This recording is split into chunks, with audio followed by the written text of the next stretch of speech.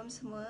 Selamat malam. Okay, InsyaAllah malam ni kita nak uh, share tentang carpal tunnel syndrome. So, sorry pasal tadi uh, tiba-tiba uh, jatuh pula saya punya apa tu tripod tu. Uh, tripod tu mau nak kena kan.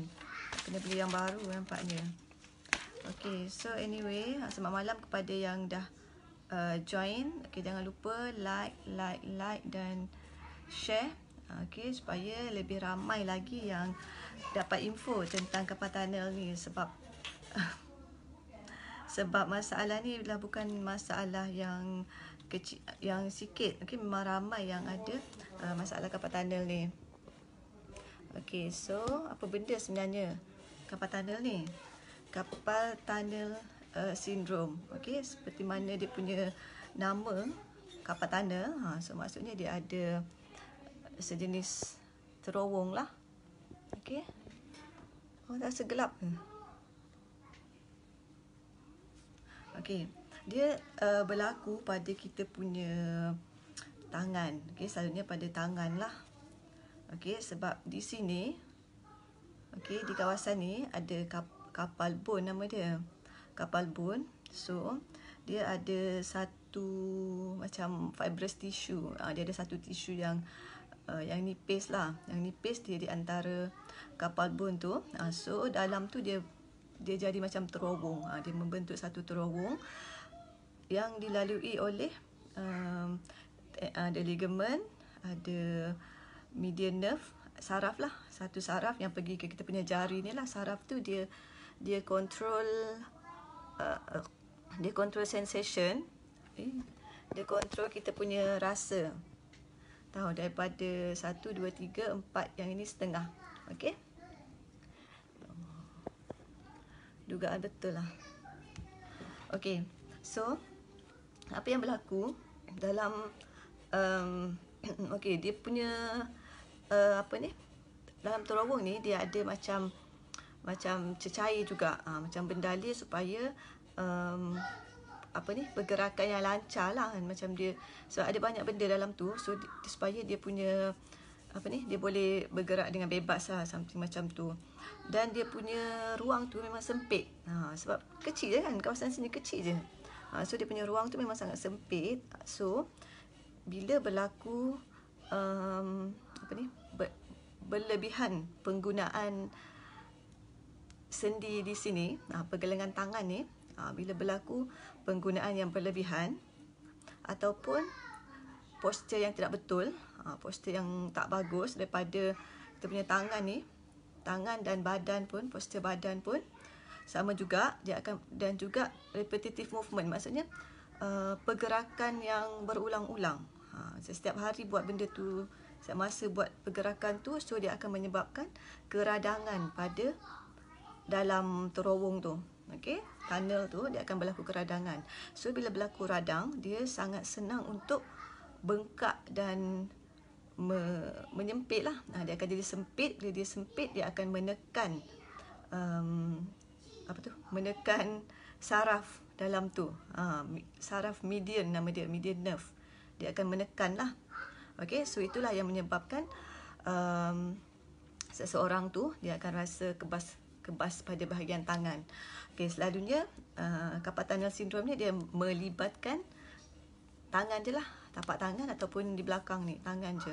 Kalau macam ada kebas kat lengan ke kat kawasan sini ke tu mungkin bukan kapal lah dia mungkin saraf daripada bahagian yang lebih tinggi okey? So Hai semua yang join selamat malam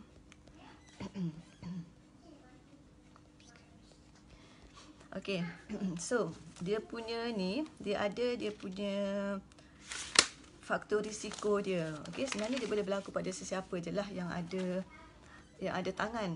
Uh, tapi dia ada dia punya faktor risiko. Okay, orang yang lebih lebih tinggi risiko untuk uh, dapat carpal tunnel syndrome ni. Okay, itu yang pertama. Kita ada orang yang selalu membuat pergerakan macam ni sehingga menyebabkan uh, ligament tu jadi macam ha yalah ha, tadi lah saya cakap macam orang yang selalu buat pergerakan kan. Contohnya siapa? Contohnya orang yang uh, bekerja sebagai penaip ke kan? Selalu taip macam tu. Okey maksudnya dia punya kalau penaip tu dia punya tangan tu sentiasa macam postur dia tak betul lah. Dia macam uh, kalau dia jenis yang menaip macam tu kan. Ataupun orang yang um, pemain piano. Okey pemain piano ataupun biasa wanita okey ibu-ibu yang buat kerja kat dapur memasak pakai tangan membasuh baju kan menyapu sampah okey semua kerja-kerja tu perlu pergerakan tangan macam ni ha. so ibu-ibu yang selalu buat repetitive movement ataupun orang yang pekerjaan dia yang menggunakan yang menggunakan ini okey yang menggunakan uh, pergelangan tangan ha, dan sentiasa buat setiap hari. Okey yang kedua dia ada dia boleh disebabkan genetik juga. Okey kalau dalam family tu ada masalah saraf ataupun masalah uh, arthritis uh, itu masalah uh, apa sendi. Uh, mungkin masalah dengan sendi uh, so kemungkinan besar the whole family berisiko untuk uh, dapat carpal tunnel syndrome okey yang ketiga ialah uh, wanita uh, the the woman itself okey wanita tu sendiri berisiko untuk dapat carpal tunnel syndrome uh, selalunya uh, dalam umur pertengahan macam 30-an, 40-an macam tu. Okey, risiko dia memang tinggi lah. Okey. Ya Allah. Okey, yang keempat.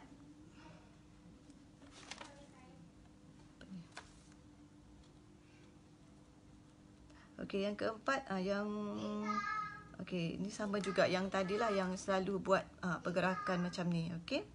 Yang kelima ialah disebabkan oleh perubahan hormon. Okey, perubahan hormon selalunya dikaitkan dengan hormon estrogen. Nah, biasanya berlaku pada orang mengandung dan juga orang yang hampir mene, orang yang menopause. Okey, dekat menopause, orang menopause selalu berlaku. Okey, yang keenam ialah orang yang uh, memang ada penyakit-penyakit yang boleh menjejaskan sendi dan saraf. Ha, okay, contohnya macam kencing manis, kencing manis ataupun rheumatoid arthritis kan yang memang ada masalah sendi. Dan dan yang apa ada masalah sendi yang boleh me, menjejaskan dia punya saraf jugalah. Okey. Okey dan yang terakhir ialah orang yang siapa nak teka? Apa yang terakhir ni? Hmm, dia ni yang paling paling banyak lah berlaku kat kat negara kita sekarang ni. Ha, siapa agak-agak nak ah, cerah sikit. Ha, okay, siapa siapa agak-agak nak teka? Apakah faktor risiko yang terakhir? Ha, ramai ni online ni malam ni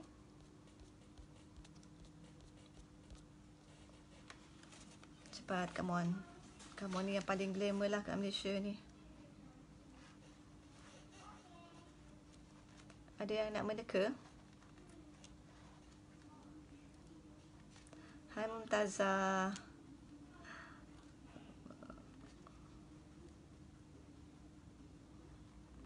Hmm, tak ada. Betul bah tak ada. Okey lah kalau tak ada saya jawab sendiri. Uh, itu obesity. Ha, okay, orang yang berat badan berlebihan, orang yang obes, dia ada risiko untuk kena kena kapal tunnel. Okey, Dang Ju jawab kerap pegang gadget. Okey, kerap pegang gadget. Ha, betul juga. Okey, it depend macam mana cara you pegang gadget tu. Ha, sebab tu tadi saya ada tengok satu video tu. Dia dia macam dia buat alat yang you sangkut kat leher uh, apa macam uh, apa dia panggil lazy lazy phone holder macam tu. Ha you sangkut kat leher lepas tu dia boleh benda tu tolong pegang so tak perlu nak pegang telefon tu. Okey tu mungkin boleh jadi uh, apa ni solution uh, kepada orang yang selalu pegang telefon kan. Kekurangan sumber kalsium. Okey actually kekurangan sumber kalsium dia tak directly impact the kapal tunnel lah. Okey. So okay, kapal tunnel ni sebenarnya dia ialah masalah uh, yang progresif. Okay, maksudnya dia dia macam uh, dia macam penyakit kencing manis, penyakit darah tinggi, okey. Dia tidak akan berlaku dalam masa satu hari je. Dia tak akan berlaku dalam masa satu malam saja, okey. Dia akan ambil masa Ha, dia macam sikit sikit sikit sikit. Ha, dia macam apa ni atherosclerosis kan? Ha, siapa pernah tengok saya punya live hari tu atherosclerosis macam mana kita punya salur darah tu dia sempit kan? Begitu juga dengan uh, terowong di sini okey? Macam mana dia disempitkan sikit demi sikit demi sikit sampailah dia betul-betul menyempit dan dia menekan um, apa tu uh, saraf itu. Okey jadi selalunya dia punya simptom akan uh, develop sikit-sikit lah. Okay, mula-mula mungkin dia rasa uh, pada peringkat awal mungkin ras, dah rasa dah kebas, dah rasa semut-semut. Uh, okay, dah rasa macam numbness macam tu kan. Tapi cakap, oh mungkin tak ada apa-apa ni. So, tak apalah biar dulu. So, the symptom akan dia akan berterusan sikit demi sikit demi sikit. Uh, sampailah betul-betul macam uh, dah kebas sangat. Sampaikan tak boleh rasa pun kan. Macam kalau pegang something pun tak boleh. Ha, okey? Kalau nak buat kerja pun macam tak nak, macam nak pegang cawan pun tak boleh. Ha, sampai tahap macam tu. Uh, okey lepas tu ada juga yang selalu rasa macam electric shock. Yang macam z, z, z, elektrik kan.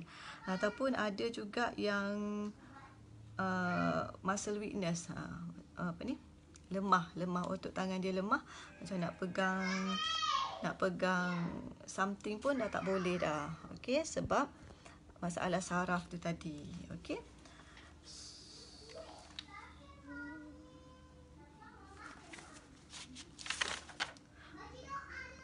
okey so macam mana kita nak um, apa ni nak mengetahui?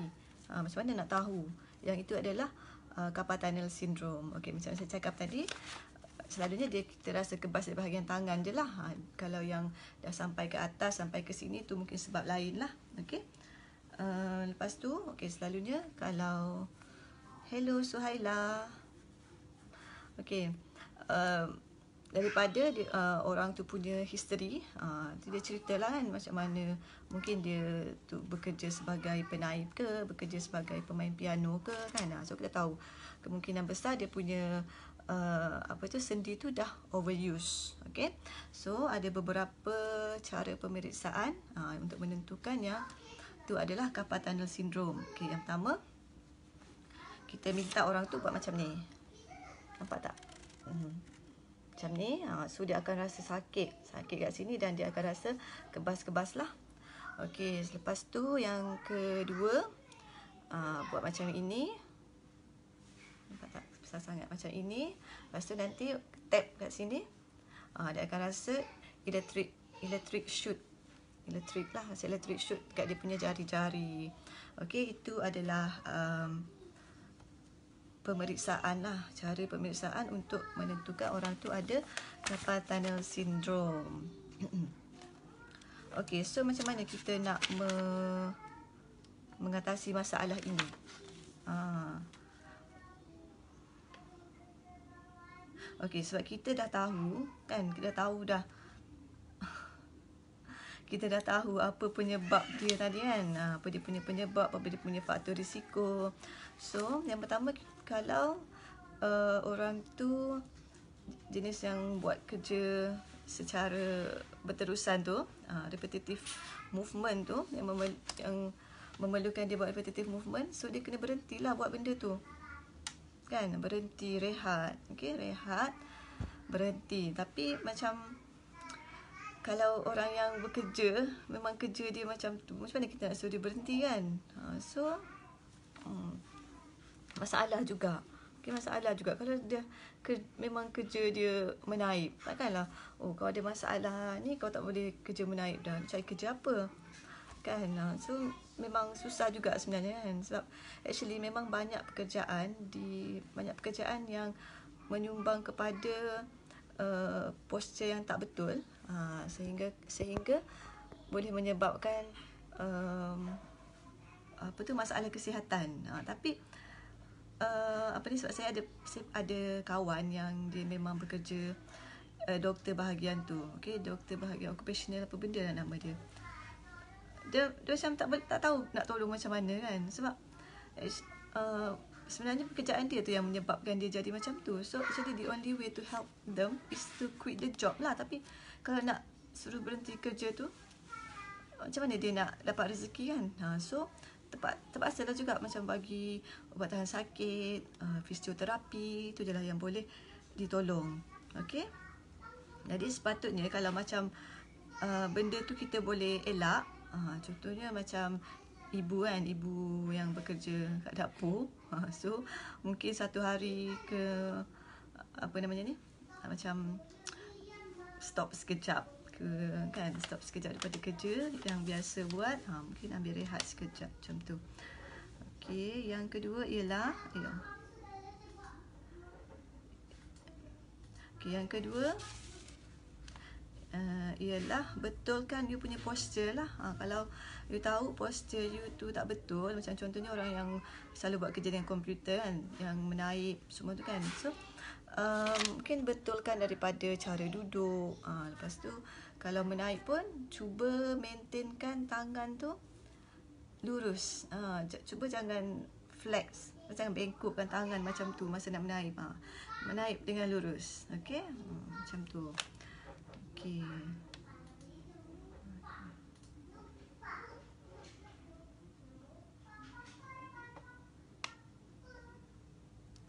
Okey, yang ketiga, apa yang kami selalu uh, apa yang saya selalu buat ialah hantar pergi fisioterapi. Okey, di fisioterapi tu nanti um, saya pun tak pernah tahulah apa yang orang buat kat sana. Tapi uh, diorang akan ajar macam apa macam mana cara nak kurangkan sakit tu uh, dan juga diorang akan ajar exercise untuk kurangkan sakit. Okey.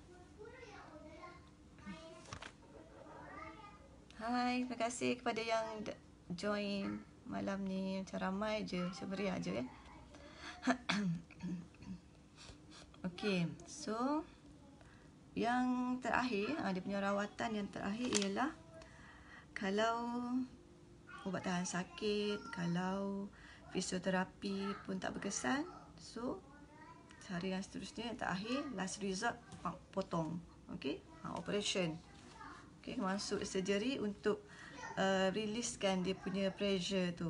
Okay, dia punya uh, tekanan tu. Tapi ini adalah uh, last resort lah. Macam actually tak ramai yang um, nak buat nak buat operation. Sebab kalau operation tu pun dia tak menjamin yang uh, dia akan sembuh. Uh, sebab takutnya jadi masalah lain pula. Okay, so jadi malam ni sebenarnya saya nak cerita sikit pasal uh, beberapa nutrition, beberapa diet uh, yang boleh diamalkan oleh uh, orang yang mengalami masalah carpal tunnel syndrome. Okey. Dan memang kena tukar diet lah, wajiblah menukar diet. Okey. Kepada orang yang ada masalah ni, tapi sebenarnya diet ni kan pemakanan ni sebenarnya pemakanan sihat tu dia wajib pada semua orang. Okey, bukannya orang yang sakit je kena makan yang sihat. Kalau sakit dia kena berpantang. Okay? Orang yang sihat lagi lah kena pantang. Ha, sebab you dah sihat, you kena jagalah you punya kesihatan tu. Ha, sebab takut nanti kalau you sakit, susah pula kan. Okay, yang pertama ialah um, uh, yang kita boleh ubah ialah tukar pemakanan kepada makanan yang whole food dan uh, whole fruit dan vegetable. Uh, maksudkan, maksudnya, banyakkan makanan uh, buah-buahan dan sayur-sayuran. Okey, sebab dia adalah sumber antioksida yang untuk melawan um, keradangan. Okey, sebab saya cakap tadi kan, dia uh, apa ni kapal tunnel tu dia berlaku sebab repetitive movement, uh, pergerakan yang ber ber apa? repetitif lah yang sentiasa berlaku kan. Sebelaku yang akan menyebabkan keradangan. Okey. Jadi kita nak stopkan keradangan tu, ha kita ataupun nak kurangkan keradangan, ha kita makan makanan yang tinggi dengan antioksida. Okey, itu daripada sumber uh, buah-buahan dan sayur-sayuran. Okey. Tapi di Shakely kami ada um, the best antioksida in the world iaitu uh, Vivix uh, dan juga kita ada vitamin A, vitamin C dan vitamin E. Okey, adalah sumber antioksida. Okey, yang kedua ialah banyakkan minum air. Ha, okay, ni pun sama juga kan macam makan makan makanan berkhasiat, ha, minum air tu adalah benda wajib untuk pemakanan kita. Okey. So yang ketiga, yang ketiga ialah okay actually ini memang uh, diamalkan oleh uh, ramai uh, doktor perubatan lah. Actually memang ada jurnal pun yang membuktikan bahawa um, kapal tunnel syndrome tu dia akan lebih baik. Okay, dia akan kesakitan dia akan kurang, dia punya kebas tu akan kurang dengan pengambilan vitamin B6 dan vitamin B12. 12, okay. B6 and B12, okay. Kena kena cerita B kompleks lah. Okay, ada seorang surgeon ni Dr. John Ellis. Ha, dia memang uh, me, apa ni dia uh, dia memang bagi dia punya patient uh, vitamin B6 dan vitamin B12 okey dan memang di di apa ni dipersetujui dipersetujui uh, oleh physician physician lain. Okey di dia punya klik lah. Okey uh, so ah uh, dia orang cakap uh, dia punya dos B6 tu 200 mg uh, 3 kali sehari okey 200 mg 3 kali sehari so 600 mg lah. Uh, so di Shakely kami ada B complex uh, yang lengkap dengan semua jenis vitamin B uh, dan juga mengandungi asid folik. Okey. Okey, yang ketiga ialah uh, omega 3. Okey, omega 3 ni ialah asid lemak uh, yang bagus. Okey, yang mengur mengurangkan keradangan. Jadi bila radang keradangan tu kurang, dia akan mengurangkan rasa sakit. Ha, di samping tu ha, bila keradangan tu kurang juga dia akan clear lah dia punya apa penyempitan ha, pada uh, terowong tu tadi. Okey yang keempat ialah uh, kalsium dan magnesium. Okey kalsium dan magnesium ni dia akan mengurangkan muscle tension okey sebab uh, somehow bila macam dia terimpit kat sini ha, kita punya otot pun akan jadi lebih tegang kan? Jadi kalsium dan magnesium akan mengurangkan ketegangan otot ha, dia akan merilekskan salur darah ha, dan juga tisu yang menghimpit ha, menghimpit kapal tunnel tu. Ha, so dia akan riliskan dia punya tekanan dan insyaallah hmm, insyaallah uh, apa ni bila tekanan dia sudah dirilis ha, jadi tak adalah simptom-simptom tersebut. Okey, semua faham ke faham? Ada faham semua? Ada apa-apa nak tanya?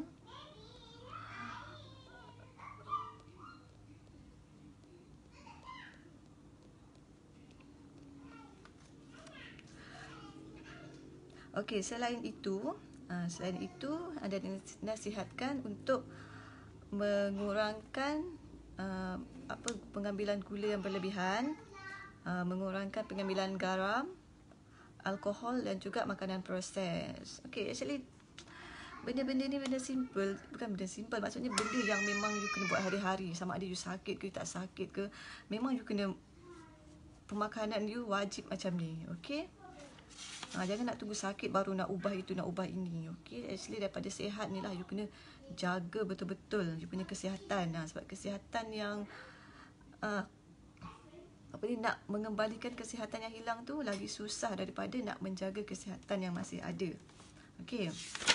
Uh, so uh, actually itu yang paling last lah. Tapi sebelum saya berakhir, uh, saya nak saya nak share uh, beberapa exercise uh, yang you boleh buat jika ada kapal tunnel untuk uh, mengurangkan rasa rasa tak selesa, rasa, rasa kebas tu lah. Okay, yang pertama kita buat sama-sama lah. Okay, semua ready? Buat sama-sama. Okay, yang pertama, ini adalah untuk uh, stretchkan muscle di kawasan sinilah, di kawasan pergelangan tangan ni. Uh, okay, yang pertama, uh, genggam tangan macam ni. Okay, genggam. Okay, dan uh, buat macam ni. Uh, sampai you rasa muscle stretch lah kawasan sini okey tak perlu buat terlalu laju dan ataupun terlalu perlahan nah tapi uh, just buatlah mungkin dalam uh, 10 kali ke macam tu okey ke depan ke atas dan ke bawah ke atas ke bawah okey 10 dalam 10 kali okey yang kedua ialah macam ni yang kedua macam ni uh, ke sana pula okey yang ini uh, untuk untuk masa yang kat sini je lah Okey, lepas tu kita kita nak stretchkan muscle yang lebih tinggi. Okey, luruskan tangan. Luruskan tangan. Okey, uh, dan bengkokkan ke atas macam ni. Okey. Dan rasakan muscle yang di sini. Ha, rasakan muscle di sini stretch. Okey tahan macam ni dalam 30 saat. Okey.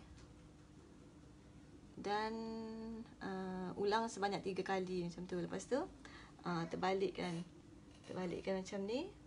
Uh, sama juga 30 saat lah tahan macam ni kalau nak uh, lagi stretch muscle tu uh, you boleh genggam tangan.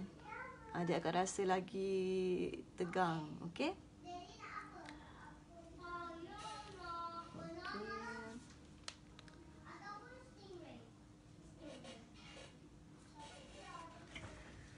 Okey, lepas tu untuk uh, stretchkan muscle yang di bahagian bahagian sini pula. Okey, bahagian sini apa boleh buat ialah kita uh, nama dia prayer exercise. Okey, cara dia macam ni.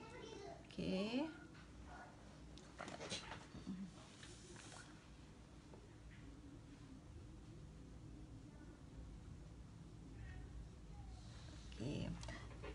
Okey, yang itu pun tahan untuk 30 saat uh, dan ulang sebanyak 3 kali. Okey, actually kalau orang yang betul-betul ada kapal tunnel, dia mungkin akan uh, rasa tak selesa, mungkin akan rasa sakit lah sebenarnya. So, turn, apa tak perlu nak push uh, hard okay? Dan push yourself so hard. Kalau macam ni memang sakit uh, just buat secara lembut je lah okay? Okay sebenarnya itu sajalah daripada saya malam ni. Okay, terima kasih sebab uh, join the live.